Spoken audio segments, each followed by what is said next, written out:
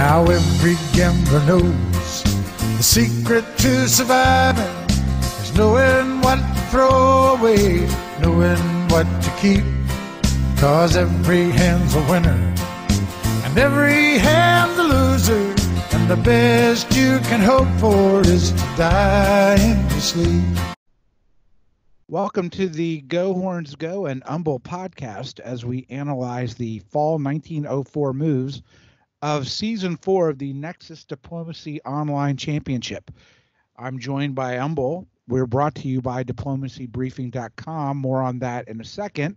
And I'll share with you that I have a nice premium Don Fuente, uh, sorry, Arturo Fuente cigar and a 2015 Seven Stones Cabernet uh, because I'm celebrating what has been a heck of a fantastic uh, four years. And I'm excited to talk to us, uh, talk to uh, Umble about these moves that we're going to go over, and about diplomacybriefing.com. Umble, how are you? I'm doing great. Tell us about Diplomacy Briefing. So, uh, Diplomacy Briefing is a weekly update about uh, the hobby of diplomacy. It talks about everything that's going on uh, throughout the community. And, and um, in fact, uh, we are always um, trying to stay on the cutting edge of what's going on. I had told recently that this uh, strategy article that was going to be coming up from Diplomacy Briefing was going to be on sandboxing and stalemate lines, but uh, that's actually been moved back, and we've got a special treat for this Friday. It's what is it? It's going to be Village Idiot, and he is going to be outlining 14 advanced tactical moves to wow. make you an elite diplomacy player. Uh, he's been working on this for a little while, actually, a few months.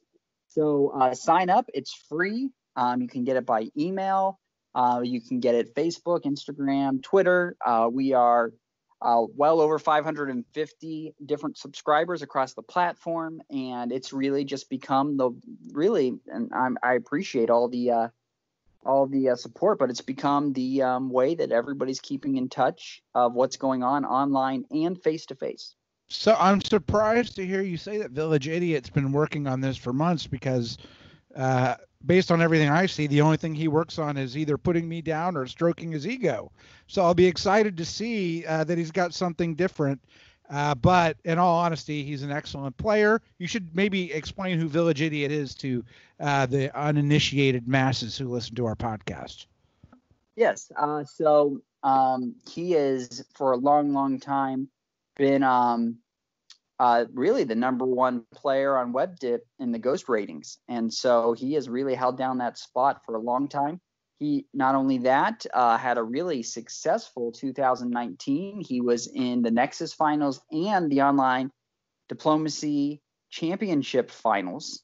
Both had over 100 people playing, and he was in both of the finals there. So he is uh, one of the best players online and well worth learning from. Absolutely. Uh, all right. So it would be uh, speaking of good play in finals uh, tournaments. I think we've seen a lot of good moves here in fall 1904. What do you think? Oh yeah, or, definitely. Yeah. You know, we gave some different recommendations, and here players uh, well outplayed uh, their what it looked like they were going to be able to do. And that just shows you you know you can look at the board and make tactical suggestions and strategic decisions but the game is called diplomacy for a reason. And if you are good at persuasion good at um, you know being able to put forth ideas uh, you're going to get some great opportunities. And, and, I really feel like the best players are very creative players. They're able to find different ways to bring people to their side. They come up with lots of ideas. And we, we are looking right now at a group of players that worked, uh, you know, changed up alliances, some of them, um, and really uh, helped their fortunes. Uh, Russia in the north, phenomenal job. Um, you know, uh, Turkey, a phenomenal job in the south.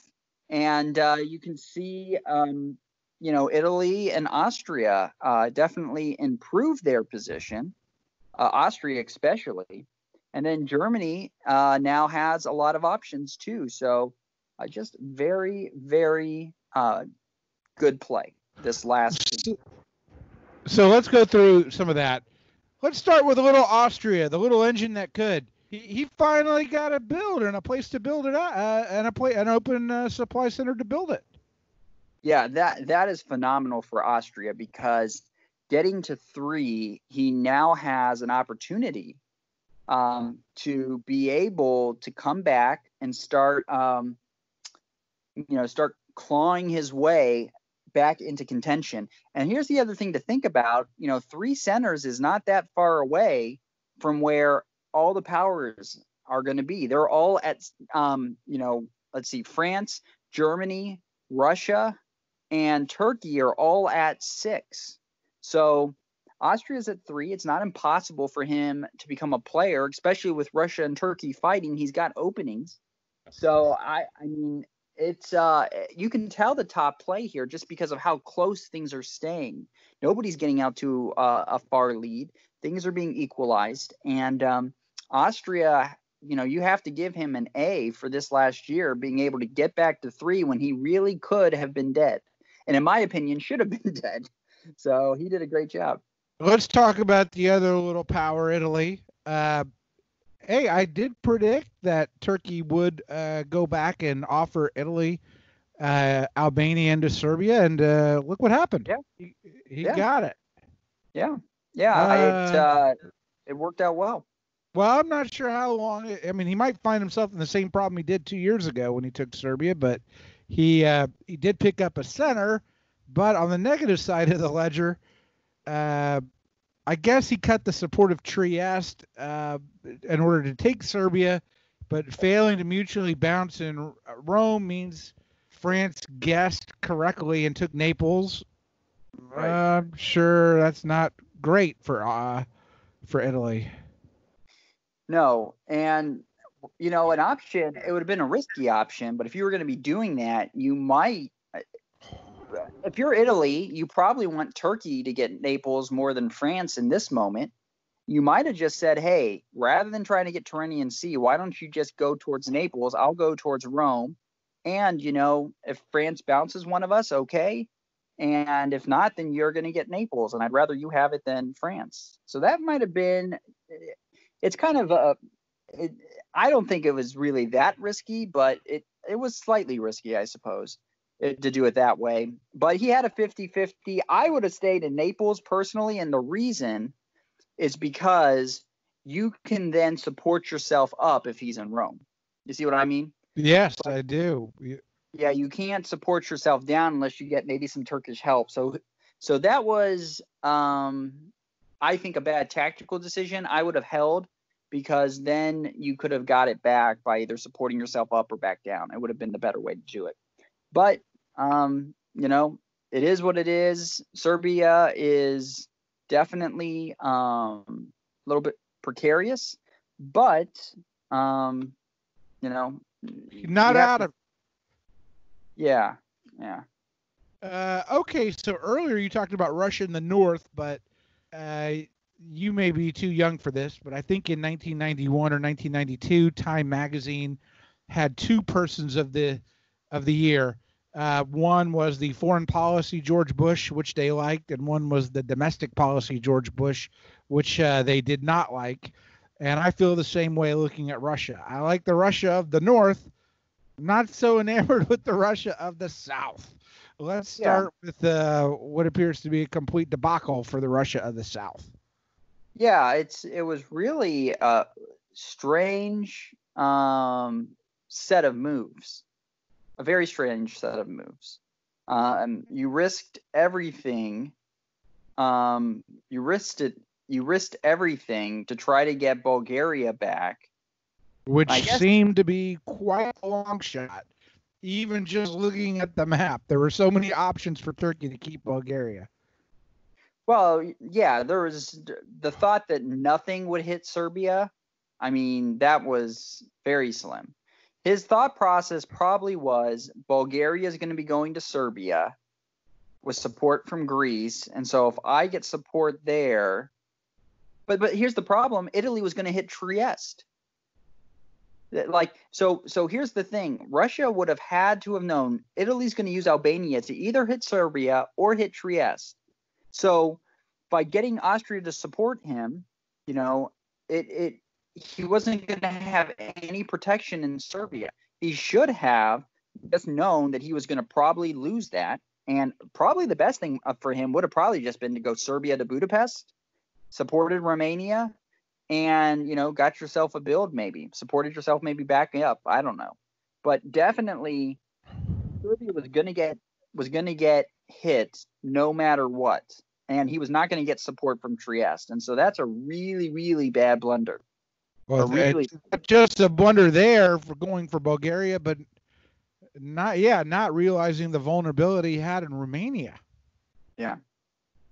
Yeah, there I mean, was right. Loses Serbia, loses Romania, loses Bulgaria, and loses Budapest. Yeah.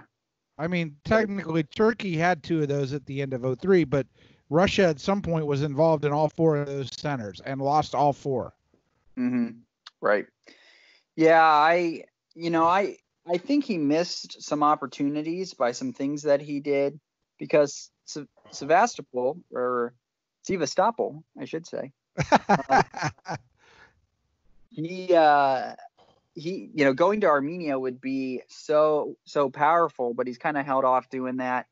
And um I don't know. I there was so many options there that really it was going to come down to diplomacy and uh, Turkey clearly won on the diplomacy front with getting Turkey, uh, getting Italy again to help, and two, he definitely won on the tactical side. Russia really made a big tactical blunder, but he was um, he he was very opportunistic in the north, and so that saved him from really getting hurt. So let's talk about that. Uh, you know, how fortuitous goes uh, doesn't rest on his laurels with St. Petersburg, tries for Norway, gets it. Yep. Uh, gets St. Petersburg uh, from Livonia, no double bounce, and uh, gets into Sweden, uh, yep. which he had, but he maintains it. Yep. Yep. I'll say Germany. You know, he found a friend. He got, well, you know, he, well, for the meantime, anyways. I, I just really don't understand what England's long term play is here. He attacks France and Russia and at the same time doesn't work with Germany, really. And then he tries to go back to working with Russia, but doesn't which instead of instead of capitulating and helping Germany, he decides to go that front. England has it really feels like has really lost control. And I I've never completely understood why England and Germany can't get it together but it's not happened. And now England has become one of the pipsqueak powers. And instead of him getting Denmark, and, and here's the other thing we're literally talking about now two years ago. He was supported to go to Denmark and decided instead to get St. Petersburg. And what has happened now? He has lost the entire North, all of it. So I, I just have to say, like, England's got nobody to blame but himself here because he seemed to have had a good thing going with Russia and he decided to prioritize. And and this should be a lesson to people that play England. It is really, really unwise to fight Russia in the north when you've not got anything in Germany and nothing in France. I mean, it, it's just you're cre- you're making a focus when you've really still got a, you know, unfinished business with France or Germany. And so all that did was by going and focusing in on Russia, it um, got him, you know, it got him distracted from what needed to happen first. I think go- owning the North is great, but if you're going to be focused on the North, you probably need to make sure that you've got, you know, Germany's northern centers first. That's more important than going all in for St. Petersburg.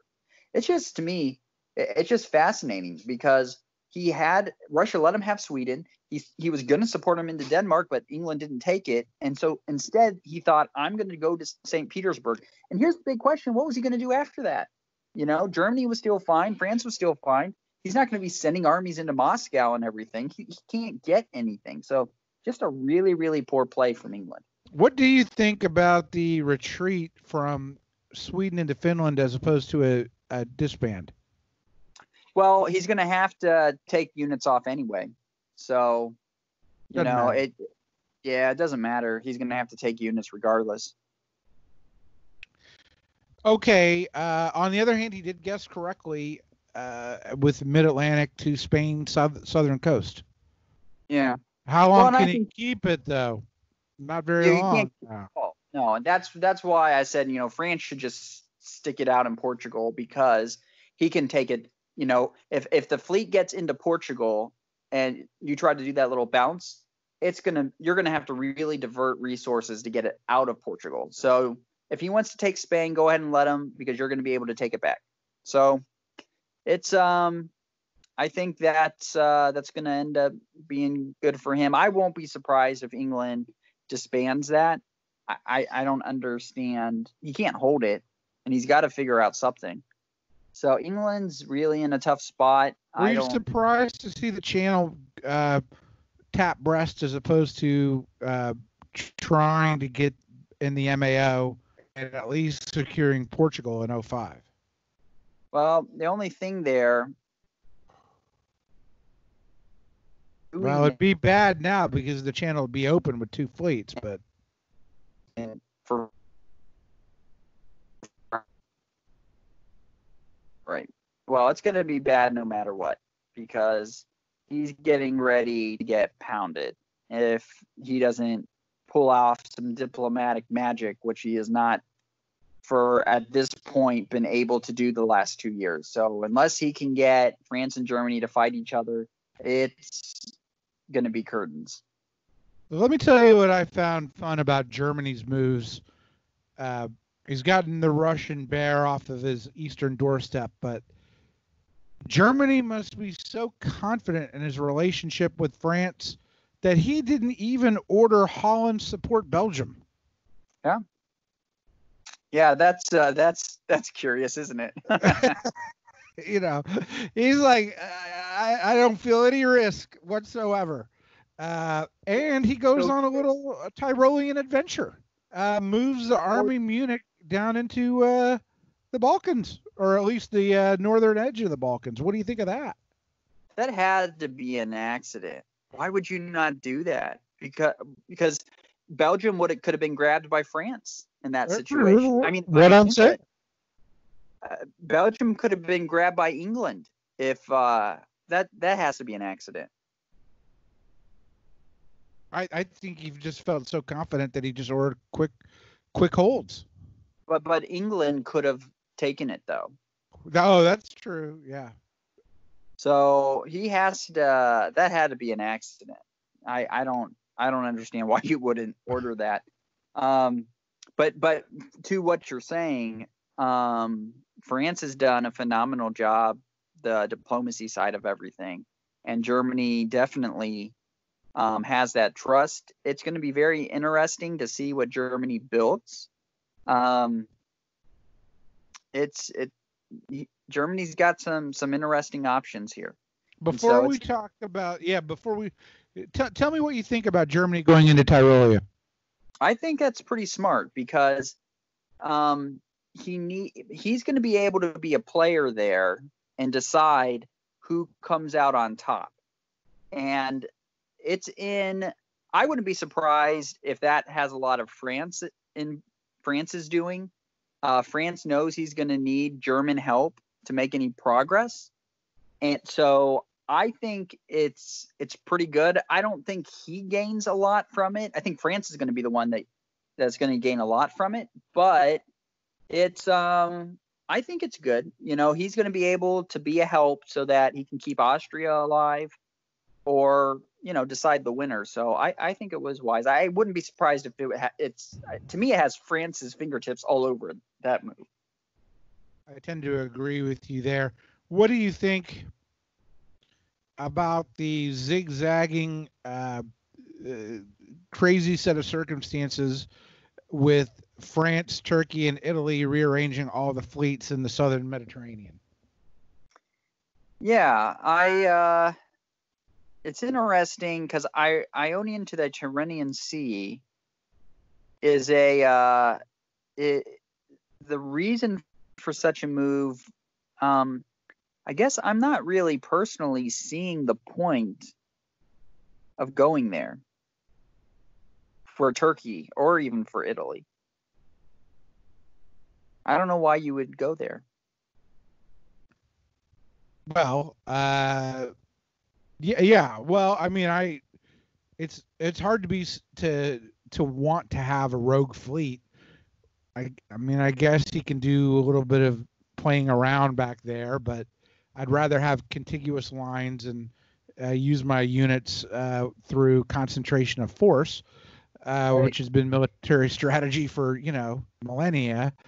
But I, I was a little surprised that France also, uh, you know, launched forward with the Ionian. Both of his fleets continue to press east no matter what. He's moving east with those fleets. We have, you know, no matter how many times you may caution him the other way, France is going to keep going. Well, I think it's working out pretty well right now with the caveat that, and it would have been great for France if he would have got that build, but it didn't work. So that that kind of stinks for him because that uh, getting he's not going to get a build because he lost Spain, but um, he's only got two armies, and he's built goodwill with Germany. But man, I'll tell you what, if Germany wants to, he can grab Paris very easily. Holland to Burgundy super easy. And uh, it's been done before in this correct. game. Yeah. Germany may have learned his lesson. So let's well, see how the builds went. Do you have the builds and disbands in front of you? I see them. I think we had to agree Germany had to build a fleet. And if he was going to build a fleet, there was only one place to build it. Uh, do you agree with that move? Um, for Germany? Yes. Yeah. Um, or would you have gone with an army in Munich?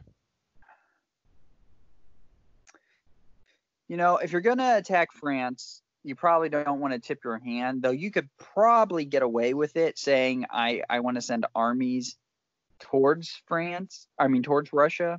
Right. It, it, you know, a fleet is probably not really what he needs.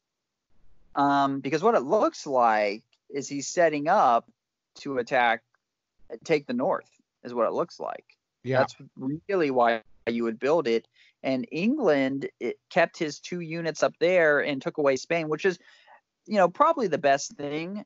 Um, because he's not going to be able to hold it. And that's, I'll tell you this, an, a great win for France. Correct. That's a phenomenal job for France to get Spain taken off. That's a free build in 05. Oh yeah. So as long as he doesn't lose Naples, which he probably will, um, there's there's really now Germany being in Tyrolia changes things. Um, that really changes things.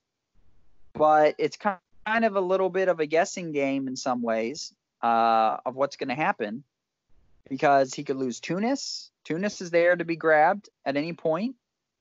Um, so yeah, I uh, he'll probably not keep Naples, but he might get like Venice. It's possible he gets Venice. You know, there's France is just once again, I think, showing that diplomatically they are a step ahead of everyone.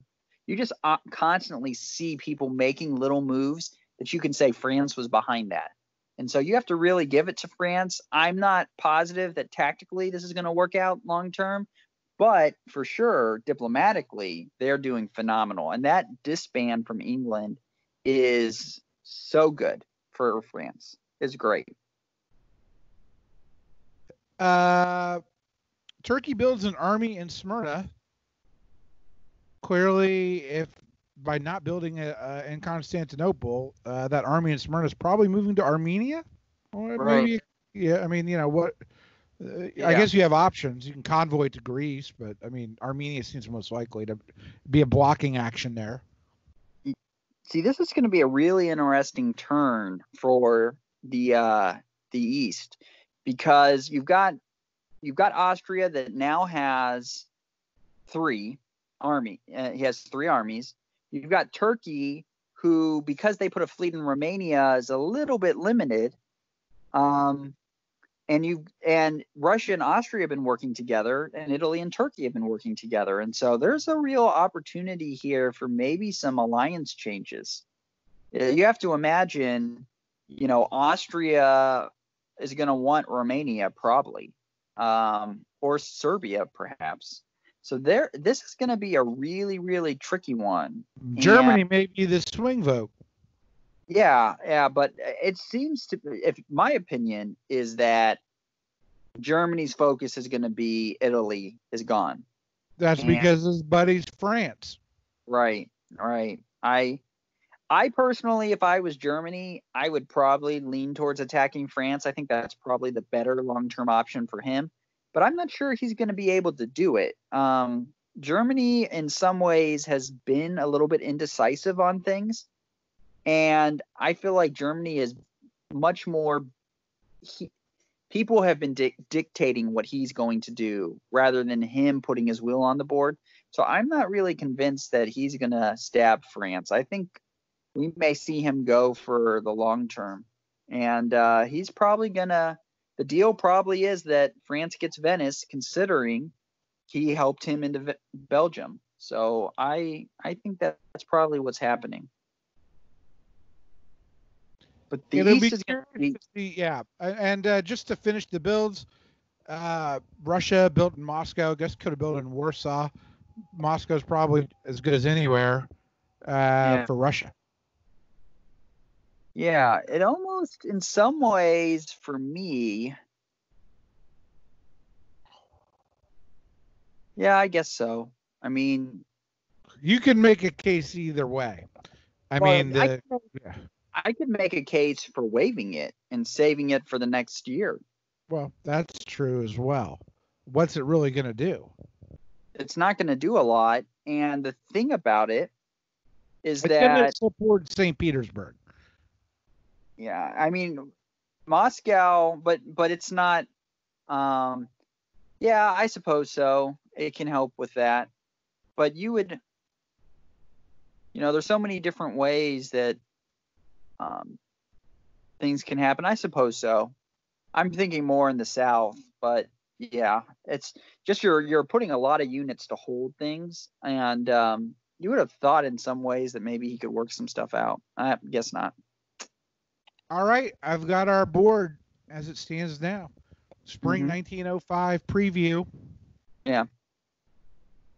When yep, you look uh, at it this way, uh, thing that I want to know is what's going to happen with Turkey and France, with Tunis, Naples, Italy, the Ionian. Tell me what you think in the Southern Med. That that's the most interesting to me off the bat.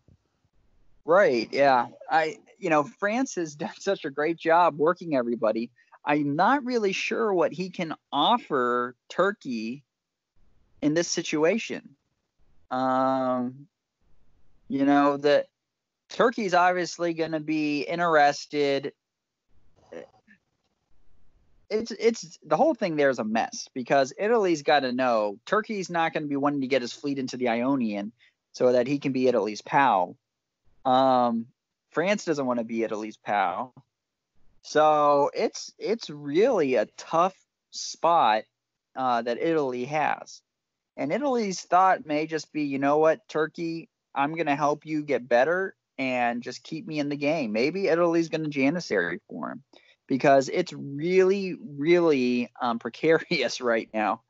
I don't think France really has anything that they can really offer Turkey or Italy to. Um, to so, if you're Turkey, you take a lunge at Tunis, or do you think Ionian covers Tunis and you try and get Italy to maybe support you into Naples, or what? What do you think? You know what you probably do? Well, the only thing that's a, I wonder, but France wouldn't do that.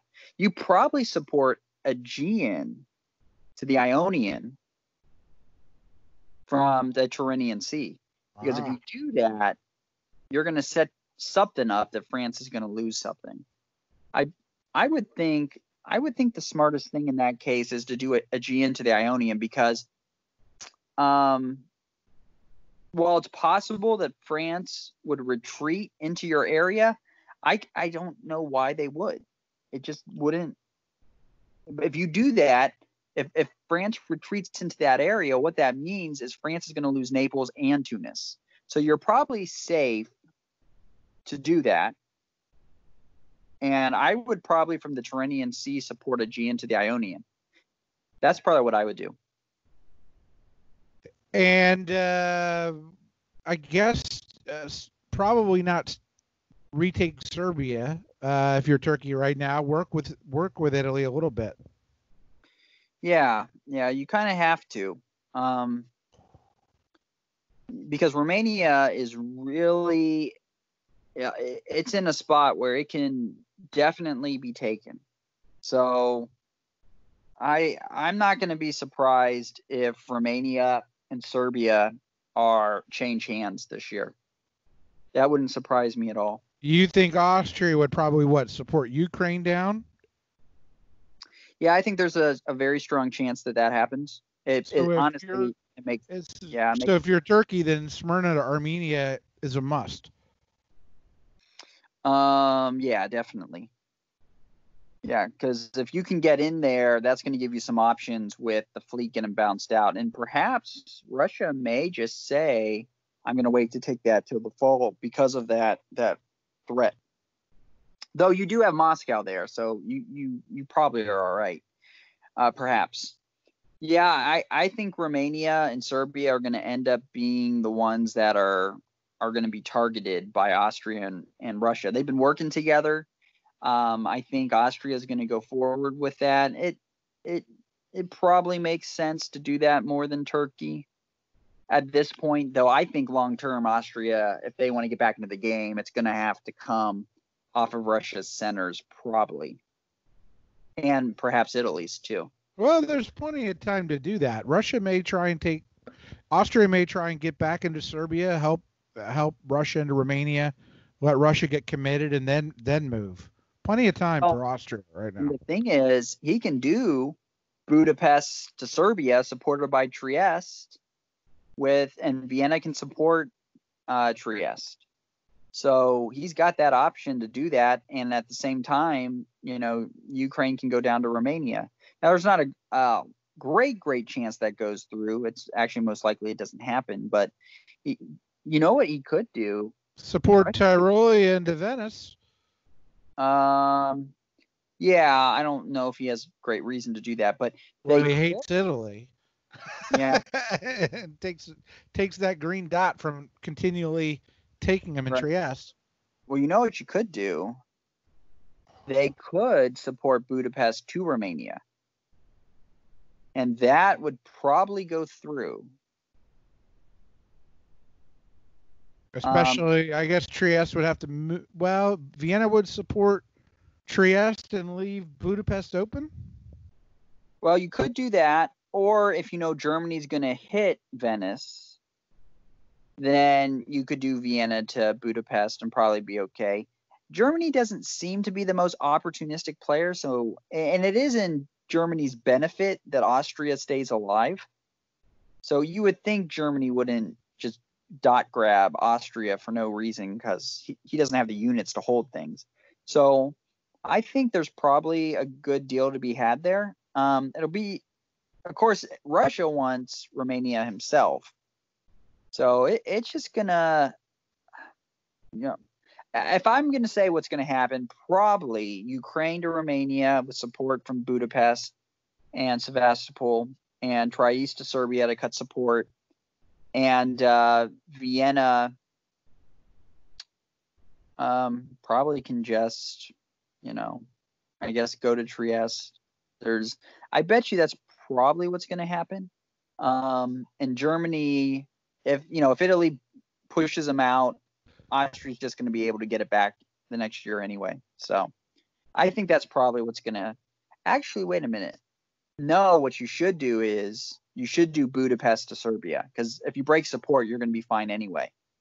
So break support in Serbia. Uh, I don't know. too many, too many options. Uh, all right, France. For, let, us move to. For, oh, go ahead if you have final thoughts, but be mindful of yeah, our time. Yeah. A lot of it comes down to Germany, in my opinion. Um, and um, I, I think that's a lot of it comes down to what Germany's going to do in Tyrolia. But uh, yeah, let's go ahead and we can go over to France. Let's move to France, at least in the in the south. Uh, cover Tunis, uh, support Naples, lunge into Eastern Med. What do you do if you're France? I think you do. You go to the Mid Atlantic and you go to Brest. I mean, that's what um, makes sense. You know, move move those down. Portugal to Spain, um, and um, you know, Marseille's the interesting one because his natural one is to go to Piedmont with German support. The big question becomes is what is Germany going to do? Is Germany going to go to Burgundy? Because you have to think he's got three armies there. I mean, are they going to sit around? You know, what's the plan ultimately? He could so, ask for a bounce. Uh, yeah, but I think Marseille's either going to Burgundy, um, and a bounce would be good. Um, but it seems like it's aimed for Piedmont. And but Germany does have to be careful, but he could probably make a deal with England. I still think he can make a deal with England, and it's probably in his benefit to make a deal. I don't think it's in his benefit to continue to help France grow. I don't think he wins by doing that. France has too many options. But uh, Germany's going to be obviously focused on the north. He's moving up. Um, if I'm England, I'm definitely offering whatever I can to get him to uh, to work with me because he's going to be losing another guy pretty soon. So unless there's some help, my guess, if I'm actually I know what I would do. If I'm England, I'm doing Finland to Norway, Bothnia breaks support in St. Petersburg, and then, you know, I guess you hope Denmark to Sweden happens. That's what I'm doing. North Sea supports Finland to Norway. Right. right. Yep. And you break support in St. Petersburg. You gotta uh, get Denmark to Sweden. Yeah, that's what you hope for. Um, or, yeah, that's probably what you hope for. That's what you need to do. And then you just tell Germany, look, we'll get you into Sweden no matter what. No matter what. And if you want, you know, when you're ready, use those armies to go get France. Um, that's what I would do if I'm England. And Although I don't think France would like Denmark moving to Sweden. Um, you don't think France would like Germany to do that? Well, yeah, I don't think. Yeah, I think France would notice that. Well, going to, I don't know. I don't know if France would care because France wanted him to build that fleet. Uh, he definitely didn't want him to build the army, and so that that fleet in Berlin's got to do something.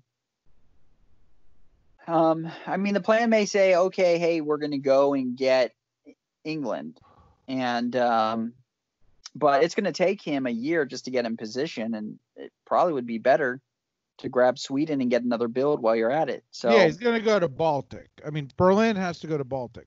You don't think Denmark would just support that? Probably unnecessary. Right. I don't if he works something out, he should be able to find out if he needs to do that or not. I mean, there's no real reason why England should go there.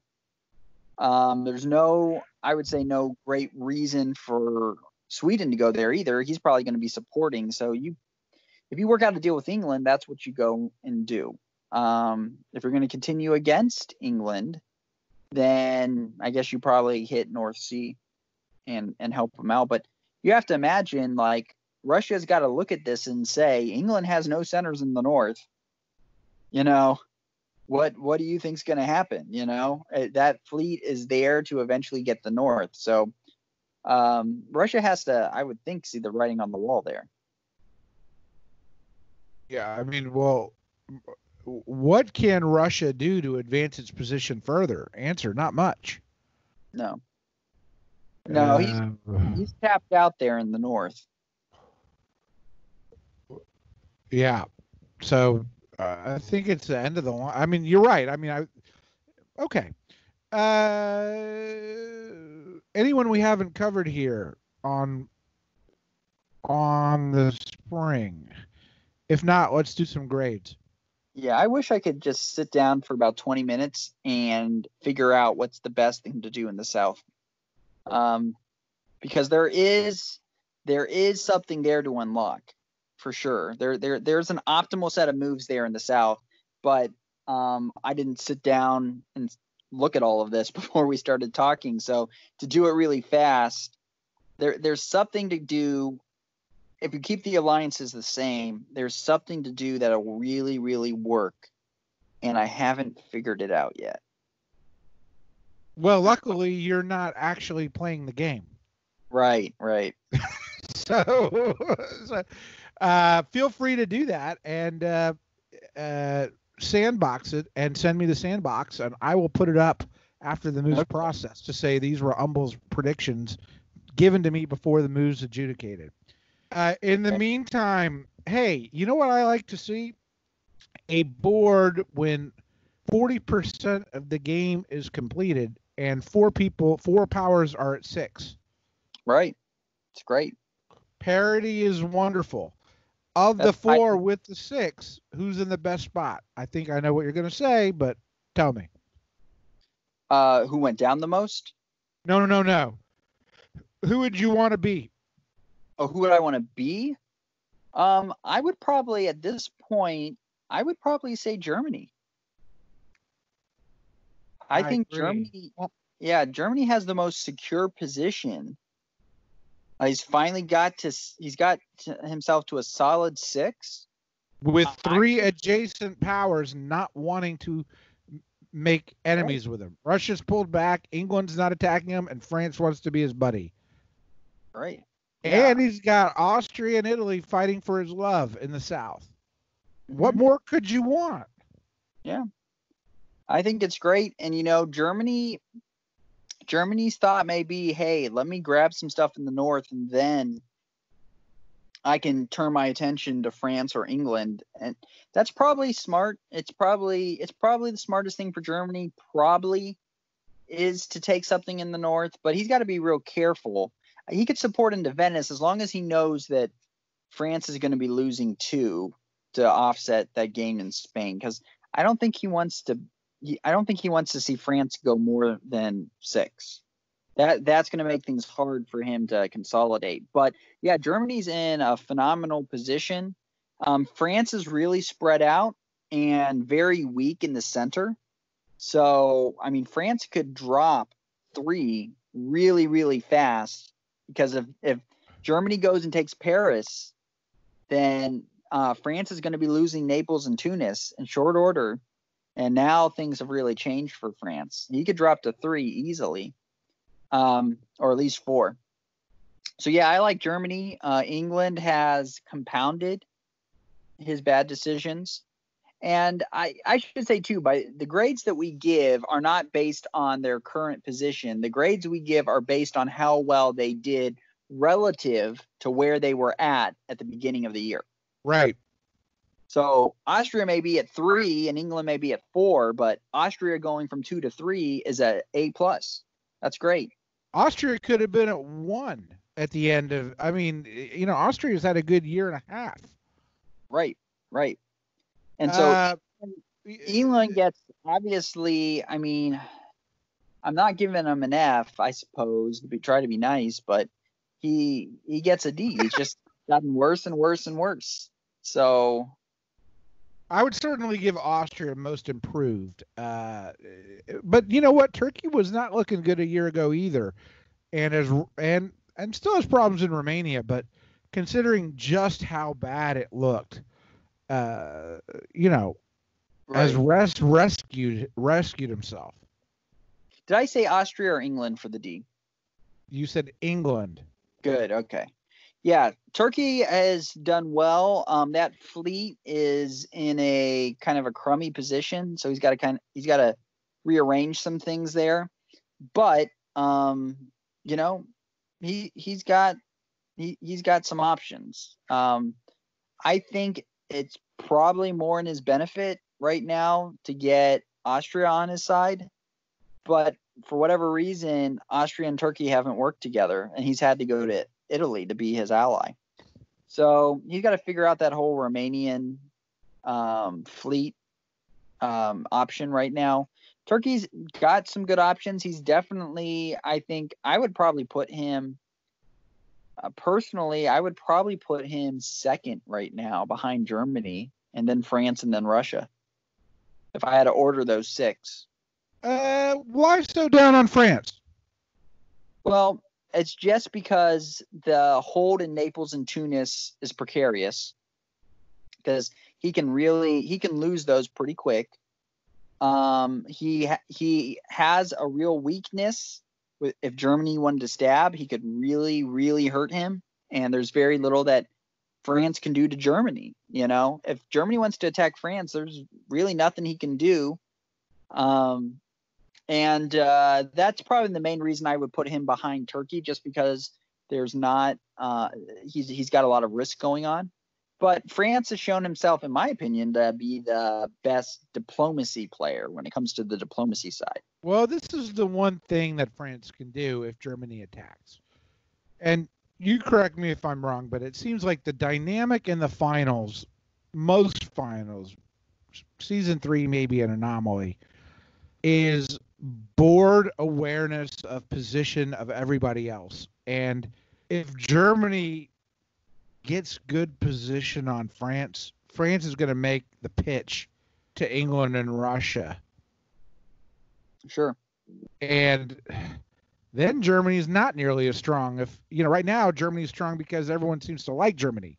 But if everyone's attacking Germany, it's a different situation. If you just looked at this board and thought that everyone was against Germany right now, you would not want to be Germany. Yeah, and and everything, especially in the finals game, comes down to pacing. Uh, I would say even more so than um, the regular tournament games. No, you you've got a ton of players, and so it's really possible in a normal tournament game to just you know barnstorm and win a game.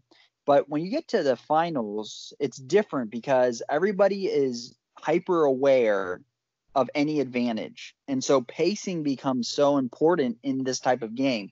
So, it, you know, you'll have somebody like England be doing really well and, you know, they can fall back. You'll have some, you know, things just change really quickly. And so France, you know, he could lose Paris, you're right. And he could lose maybe Naples and Tunis, but yet still be able to come back. Who knows? because well, there's still a lot of gameplay left. Is it too early to evaluate France's 02 and 03 and the beginning of 04 tur- turtling up strategy? When you um, think about pacing, you know he, you know he, you know he, he mea culpa, mea culpa, mea maxima culpa. Uh, with France, made no moves really against anybody else, and everybody moved away from him. Now giving him that advantage. Will he be? Will he continue with caution, or will he go back to the 0-1 Blitzkrieg maneuver we saw him employ? I don't. You know, it's hard to say. I his kind of whole thing is he needs to get Venice, but this whole southern strategy is it's very easy for this whole thing to fall apart. Um, he doesn't, and, and this is the problem with France. Like to make a successful Italian attack, you need more units than he has to commit to it. And the issue is that with England and Germany not dead, he really doesn't. If he's going to commit stuff to to the Italian attack, he leaves himself open. So that's the big thing. I'm not against the Italian attack, but most of the time France would have got punished for doing such a thing because the the opening would just be so easy to go grab some stuff. But um, he hasn't. And England and Germany have just continued not to work together. I would I'm really interested on why that was the case because it just seemed like there was reason upon reason for them to do it for a long time. But uh, I think France's position is precarious. And even though it might look better, those two fleets cannot hold Naples and Tunis forever. They just they they can't. He's got to commit more units, and so even grabbing Venice from Italy isn't going to change that that fact. You know, he doesn't have he can't guess right every single season. He's going to lose something. Any chance Turkey just says screw it with Tyrrhenian Sea, moves to Western Med, says England, I'm coming to help. Oh, that would be funny. Uh, I don't think so, but because uh, there's not a lot that he could do on that turn. Right. But uh, yeah, that would that would kind of be funny, but I don't think so. Uh, okay, the question uh, we all I've I've uh, I I still don't know who anybody is. I don't know if you do, but I'm now hoping that Captain Meme is Russia uh, because he's so arrogant uh, and that he's getting his comeuppance. I'm still going with Austria as uh, Iozers. That's one stubborn dude, and uh, that makes a lot of sense to me. I have apparently mispronounced uh, Babu's name. Uh, I think I heard it. Is it Babo, like Babo O'Reilly, or is it Babo? It, no, it's Babu. It's just you got to enunciate it a little differently. Babu. We'll say that's what it is, but that is how you do it. But the enunciation's a little different. I'm not sure if I agree with your police work there, Umble, but uh, uh, fair enough. Babu, if we get it wrong, you uh, let us know. Yeah. Uh, I have no idea who you are. Uh, maybe Germany. And uh, Max Facts, I don't know you, but you did complain about inconsistent advice, so I'm thinking maybe that would be Turkey. Hard to know. I'm starting to think Flint might be England. Oh, I hope that's not true. He he com- he complained about grades. Grades. Yeah, so there's on that that that definitely points to somebody else if that's the case. Well, we did get grade. Well, I think you graded Turkey a D. Uh, uh, about Turkey, but I know there's been another nation I've I've given consistently low grades for a little while now. Uh, well, okay, fair enough, England. Uh, all right, I don't know. I can't remember anybody else in the finals. Uh, oh, superstition. I'm still thinking that's France. Uh, although the stubbornness uh, surprises me. So maybe I'm wrong. I, I only have a one in seven chance. Anything else, Umble, you'd like to say before we wrap it up for our good listeners? Nope. I uh, I think this is gonna continue to be a good year, and uh, to me, that one of the most interesting things right now is going to be what happens in the southeast. Um, I, especially now with Germany and Tyrolia, I think that's a phenomenal move. I do think France was behind it, but it's really strong, and um, we're going to see a great 1905. You guarantee it? Yeah. Mm-hmm. Well, I'll go on the other end. I'll say we'll be disappointed. I have no evidence to support that whatsoever. Maybe I should read diplomacybriefing.com better and get an idea. By the way, Village Idiot, I do look forward to reading uh, your article and uh, giving it as much uh, credit as you gave me for my uh, tome uh, AAR. All right, Umble, thank you. Good night uh, farewell, amen, and uh, thank you very much. This will be released when you see the spring 1905 moves. Good night, Umble, and thanks to diplomacybriefing.com.